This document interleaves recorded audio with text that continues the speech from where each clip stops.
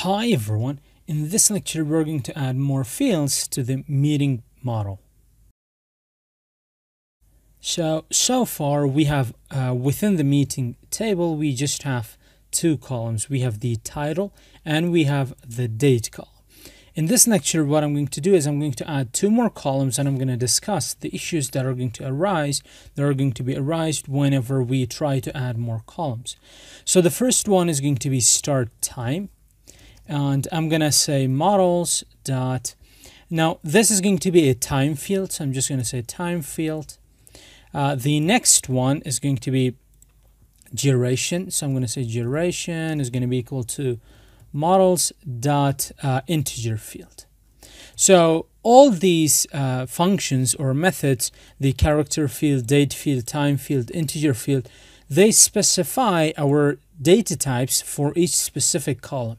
We know from our SQL Essentials course that whenever you're creating a database table, for each column you need to define what the data type is going to be. So here we just say that the duration is going to have an integer field. So the user cannot provide like letters in there. Now let's uh, make some migrations. I'm going to say Python manage.py make migrations let's hit enter. Now here is an interesting um, issue. Uh, this is something that you're going to face um, at some point when you're creating applications. And what it basically says is um, first we're going to go over what it literally says.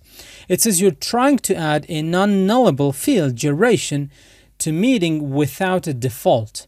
We can't do that. The database needs something to populate existing rows.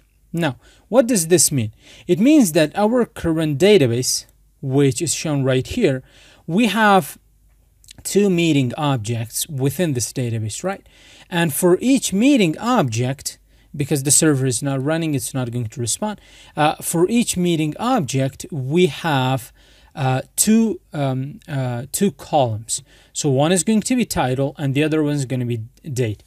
Now, because we have a meeting object, the meeting object has a title and a date. And we say that we want that meeting object to have another column of start time and another column of duration.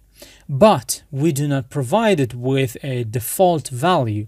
Now, default values, they're not allowed by Django you, uh, undefault values like non-default values you need to provide one at least a value for any field that you have in your application so in here i'm just going to say 2 uh, just to quit and let me add a default in the models.py so i'm going to say 2 now i'm going to run the server so i'm going to say manage.py uh, run server and I'm going to tell I'm going to show you exactly what it is that I mean. So if I just reload this, it should just connect to our server. Let's just go back. Uh, here we are in the admin. Let's go into meetings. Um, let me just log out and log in again. Try log in. Uh, was it this one? Evolutive learning. Just hit enter. Um, uh, it is. Let me just click here. Oh, Hilali Python. it was the other one. Kind of forget that. There we go. So if I go to into meetings, um, start time, it is going to throw that error. So for now, I'm going to delete these two fields. I'm just going to delete them. And the changes are going to be detected. Let's just refresh the page. And there we go. Now, what does that error actually mean? It means that, now you can see for each meeting, we have two fields. The first one is the title, the second one is the date. Now, when you add two more fields, the third one is going to be added, uh, or the first new field is going to be added right below the date, and the other one is going to be added right below the previous one. But for those, we don't have any default values. That's why it is throwing that error. Because default and non-default values, they're disallowed by Django.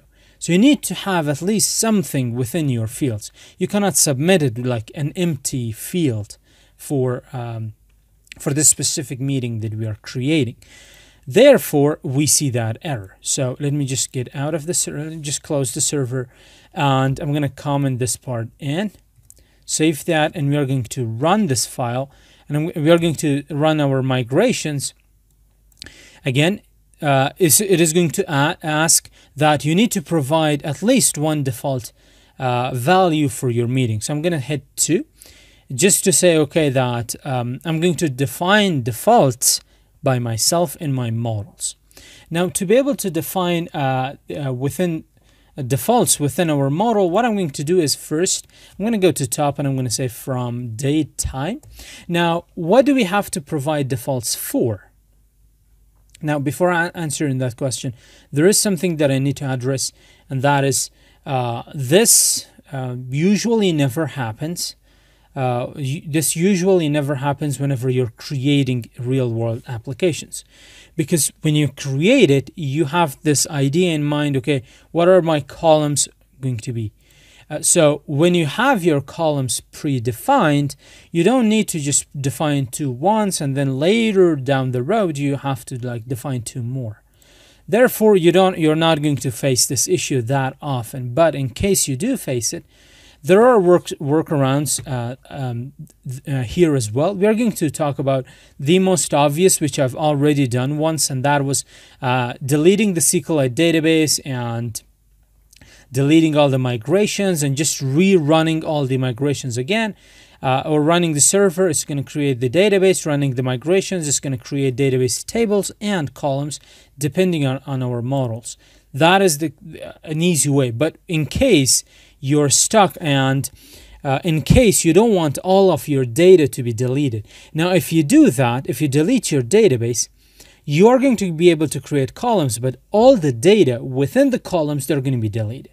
So if you want to prevent that, and you say, okay, I want to add another column to my table, but how can I do it without deleting the existing uh, records within the database? This is the way that you can do it. So first we are going to say from date time import uh, time. So what it is that we want to provide as default. So we have start time. I'm just going to provide a time for the start time and I'm going to set it to default 9 o'clock, uh, 9 a.m. So I'm going to say default is going to be, let me grab the time function and I'm just going to pass in here 9. So that is going to be the default for the start time. And what is going to be the default for duration? The default for duration, I'm just going to set it to 1. Let's save that. Let's uh, run our, let's make the migrations again.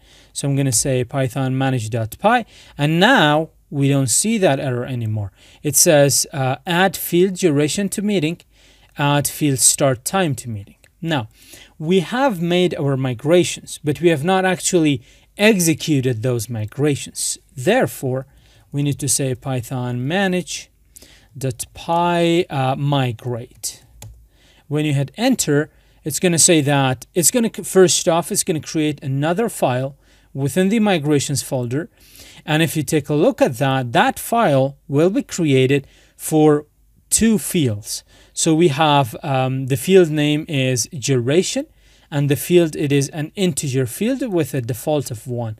And then for the second field, we have the name is going to be start time and the field itself is time field and it's going to start at 9 a.m. Uh, that's why all uh, in the project demo when I showed you where you could plan a new meeting the default was 9 a.m. if you just go back to that video and take a look at it it's always going to be 9 a.m. because I defined it right here so um, uh, there we go. So we actually we have uh, migrated the changes as well. And we know what migration is. Migration is just going to create uh, is going to ch uh, change the format or, or the structure of our database based on our model class. So uh, in this scenario it's just going to add two more columns. Now there is one more thing that I would like to remedy here as well. Uh, if I go back as, because the server is not running it's going to say unable to connect but I want to add a string representation as well. Instead of seeing that meeting object one, I just want to provide a string representation that says this is the title of the meeting, meeting at some time on some date. So I'm going to say def, we're going to use the stir magic method. And we know that for uh, whenever we're working in a class, object-oriented fashion, we need to provide at least one parameter. So it's going to be format as string. Now, first, I'm going to say self.title. It's going to grab the title of the meeting. Uh, so this is the title at what time on what date. So at self dot um, um, start time, what is the name of the column? And self dot um, date. So this is just going to change that. Now for this, we are going to run the migrations again. We are going to migrate all the changes. And here is an interesting thing that that you're going to see and I'm, i will explain it. So we are going to have manage.py uh, migrate. Now uh, it says in here no migrations to apply. Why why is it saying no migrations to apply? We clearly changed our model class but it has detected no migrations the reason that there are no migrations to be applied is because we did not change the model fields. We did not change the table columns. We just added a behavior which is not part of what will be stored in the database. It's not part of what will be stored. So as long as it has nothing to be to do with storing something in the database, we are not going to end up with any migrations. Therefore, uh, hence we have no migrations to apply. Oops uh, that's the next project. There we go. And now I'm going to run the server. So I'm going to say python. Let me just clear the terminal. Python manage.py run server. Let's run the server and I'm just going to go to that address. All right so let's go to admin. Let's check our changes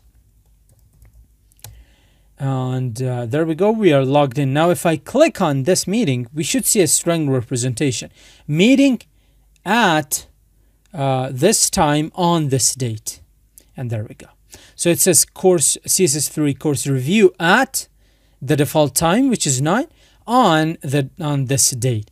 And if you click on it the default duration is going to be one hour so these two were the default values that we, we had to provide. Otherwise, they were they would not have been created. You can change. You have this really cool thing, uh, uh, tooltip as well. You can click on the now. You can do whatever you want. So this is the current time. I'm just going to save it. And there we go. So for this one, um, uh, we have all this information. I'm just going to say save it. And for this one, we just saw what information we had. So now you can see that uh, we have our first meeting and we have our we have our first meeting and we have the second meeting and we have all the default fields there as well.